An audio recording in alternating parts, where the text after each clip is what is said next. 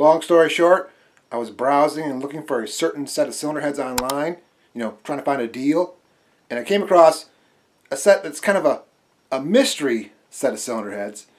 Well, the ad does say what cylinder heads they're supposed to be, but the pictures tell me there's something different.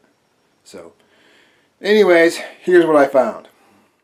Right away, you can see the title of the eBay ad says Speedmaster cylinder heads and even has the part number. They are new old stock, 418 bucks, free shipping.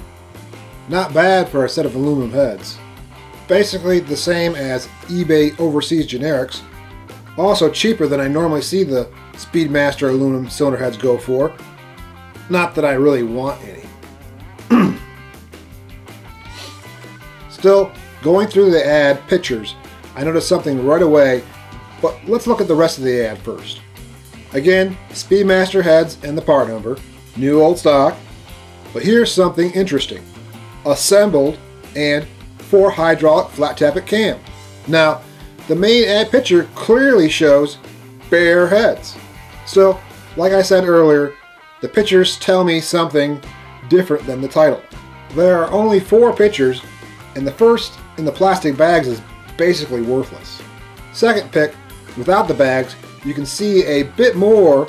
The intake flange does not have dual Vortec bolt pattern like the aluminum Procomps I've seen. Also, no dual valve cover bolt pattern. There are no center bolt holes or even a pad to machine them.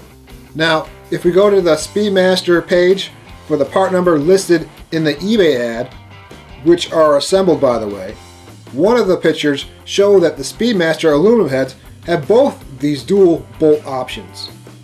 Even the iron heads I made a video about had them. Moving on to the third ad picture, and we get a good look at the exhaust flange. Again, nothing like the typical Speedmaster heads I've seen. Last ad picture shows the deck and chambers. Now I had to go to Summit's website to find a decent Speedmaster deck picture. It's for a different part number, but same thing, as all their heads pretty much look alike. There are several small differences. I'm not going to bother pointing them all out, as I have other heads to get to in this video. I do want to note the plug position is different. The eBay mystery set is a bit more toward the intake valve. Plus, technically the Speedmaster part number says these heads are angle plug, but the eBay mystery heads, you can see in the pictures, they aren't. The chambers are kind of deceiving, but the exhaust flange shows, again, they aren't. They're straight plug. Okay, so if they are not Speedmaster heads, then what brand are these eBay mystery aluminum heads? Based on the pictures I can find online, they look like Brodix heads to me. Brodix Iron Killer heads to be specific. Now, they don't have Brodix or any part number I can see cast on them, but there are several similarities. Before I get into those, I should mention Summit also has some heads that appear to be cast by Brodix. Though again, those also have a brand name cast on them, and the eBay mystery heads have nothing. From this point on, we are going to be comparing three different cylinder heads. We'll start with the exhaust side. On the Brodix, you can see it has D ports and is not drilled and tapped for a coolant port, like most small block Chevy heads are. Neither is the Summit head, nor is the Mystery head. Although it's hard to see the D ports with the eBay ad pictures. The exhaust flange and other machining look pretty much the same on all three heads. Even the valve guide boss from what I can see inside the ports. All except one spot that I noticed. Here, the mystery eBay head is flat. Brodix has a dip, so does the Summit. Next up is the intake flange. Brodix, Summit, Mystery Head.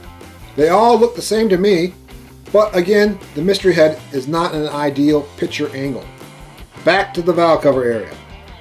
Machining and shapes appear to be the same, other than casting marks of course. Last, we compare the decks. Brodix, Summit, Mystery eBay Head. Chambers look the same, and generally the overall shape is the same. Just some small differences in coolant port shapes, that center boss on the bottom of the intake flange, and some casting dots that the other cylinder heads don't have. Going back to the Speedmaster head, you can see the deck is different. Again, I'm not going to point out all the differences here. You can pause if you want. The Speedmaster exhaust side, no D ports, has the common coolant port, even has a cast part number. I'm pretty sure these eBay mystery heads are not Speedmasters for several of the reasons I pointed out in these pictures.